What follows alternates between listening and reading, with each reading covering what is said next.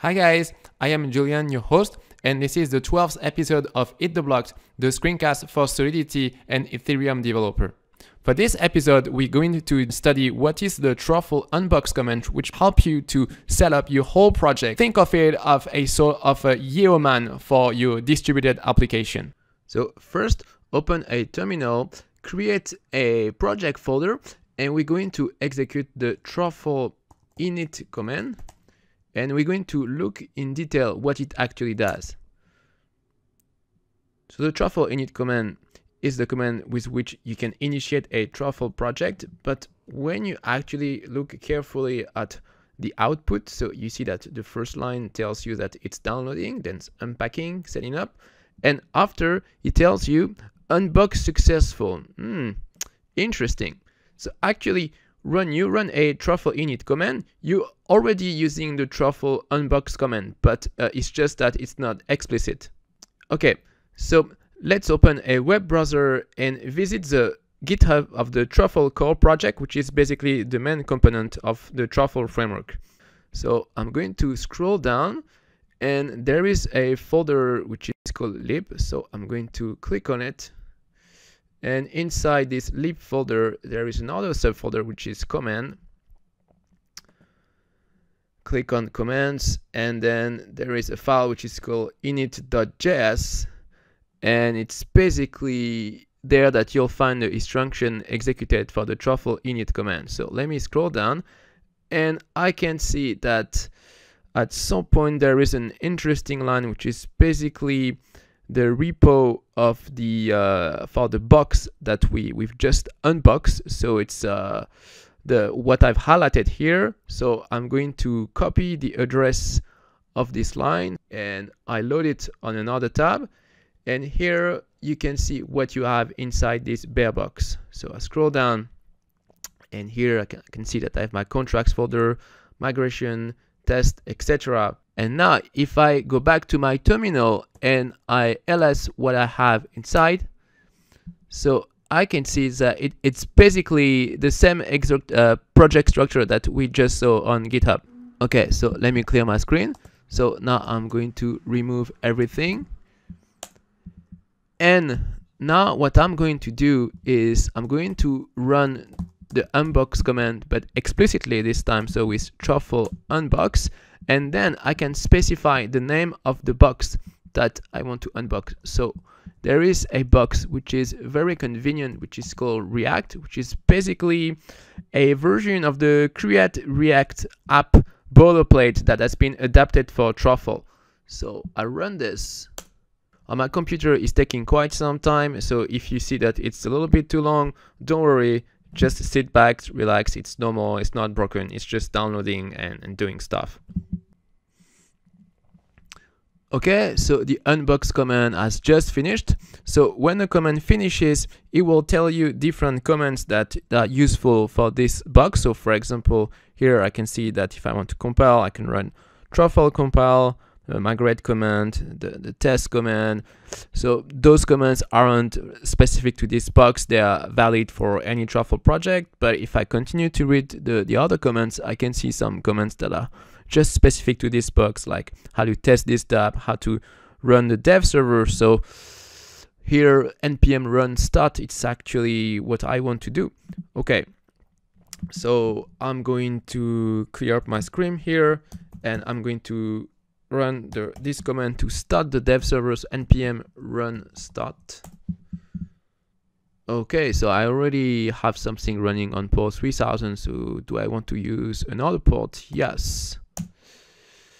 Okay, so we have this error message on the web browser which says failed to compile, error, module not found, build contract simple storage.json. Okay, so this file which is missing is a contract artifact. It's basically a JSON document that describes the compile contract. So it means that we are missing a compilation step.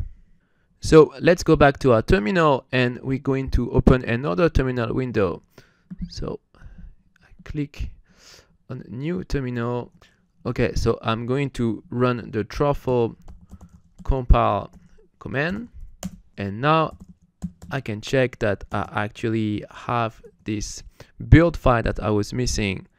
So if I check in build slash contract, I can see that I have this file simple storage.json. Okay, let's clear my screen and let's go back to the first terminal window. Okay, so now uh, basically if I rerun this command npm run start, it should not complain. Okay, so now going back to the web browser where our web app has been reloaded, we can see that this time there is no error message anymore. And we can see here a nice header truffle box and it says good to go. Your truffle box is installed and ready.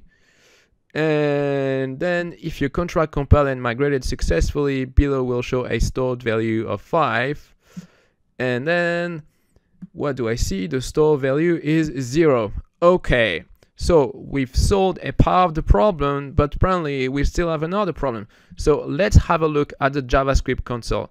So Control Shift J. And if you're on Mac, instead of Control, it should be the super key actually. Um, and then I see an error, which is uncaught error. Contract has not been deployed to the uh, detected network. Okay, so the problem we have is that we've compiled our smart contract, but we're not running any local testnet. So our web frontend is trying to connect to a testnet that isn't running. So we're going to go back to our terminal, launch the local testnet of Truffle, and then it should work. So going back to the terminal, and then we're going to select another tab. And now we're going to execute the truffle develop command, which will start our local testnet. Okay. And now we will migrate our contract. So for this, we just need to type the migrate command, which is another name for the deployment. And then we have uh, those uh, messages that say saving success successful, migration to network, and here the hash of the, the deployed address. So now let's go back to our web app frontend and we can see that this time it says the store value is 5 and in the JavaScript console we don't have any error so it's working. Okay, that's great.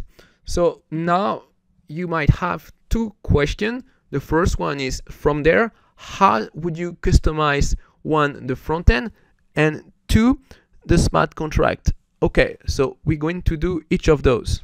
So going back to the terminal, actually open a text editor. So for me, I'm actually already in Visual Studio Code. So I'm going to hide the terminal and the file we're looking for is in the src directory and it's app.js with an uppercase A. Uh, we're going to um, load it. Okay and so here we can see some react code. And so let's scroll down. And here in our render function basically uh, there is some HTML and so it's where we are able to change what we want. So instead of truffle box uh, in the title I will put something like uh, eat the blocks box okay? So I'm going to save this and thanks to our development server we can directly go back to our front end and it should have been updated already. All right so let's go back to the front end and I can see that now in the header instead of what we had before. This time we have etb box. Okay that's great. So now we know how to customize the html part. So now let's see how we can customize the smart contract. Okay so let's go back to our text editor and this time we're going to open another file. So in the contracts folder basically uh, the contract we are interested in is simple storage dot so yes this one okay and this time what we're going to do in the get function actually just to prove that I'm able to change something instead of just returning store data we're going to return store data plus one okay so it's absolutely uh, useless but it's just to show you how you, you can customize your smart contract. So if you just try to uh, do your change like this, you will not see any change. So here, if I go back to my web front end, I can see that the store value is still 5. Why? Because what we have done here, we've changed the smart contract, but we haven't recompiled and we uh, haven't uh, redeployed the smart contract to our local testnet. So our web front end is still communicating with the previous version. So let's go back to our terminal and here what I'm going to do is I'm, I'm, going to rerun the migration command. This time I'm going to specify the reset flag because I don't want to just redeploy the previous contract which was already compiled but I want to actually run the whole process which is first you compile and then you, you deploy the contract that, that was just compiled. Okay, so migrate dash dash reset and let's press enter. Okay so now it's uh, rerunning the whole process. And now let's go back to our web front end and we can see that it says that the store value is 6 great! It has worked because before it used to be 5 but now uh, with our plus 1 increment it's actually 6 Okay, so one last thing I wanted to show you is the official documentation of truffle boxes.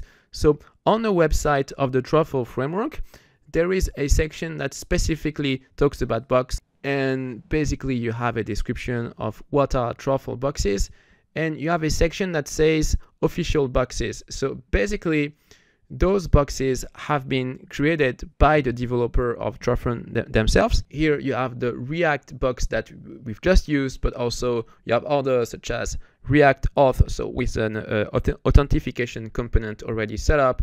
And if you continue to scroll down, you can see some other interesting uh, boxes like for example you have react uport so uport is an authentication project built on ethereum so this one is particularly interesting and we might study it in a future tutorial then you have the PetShop box, which is basically one of the best tutorial that is offered on the website of Truffle. So I highly encourage you to check out this box and uh, maybe do the uh, related tutorial.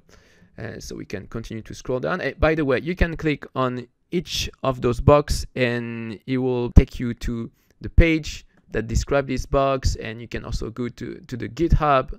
So, uh, so now it's loading.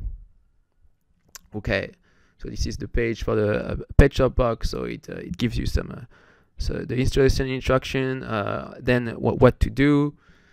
And if you continue to scroll down, you have FAQ, and then you can go to the github and yeah basically everything you need to know about this box.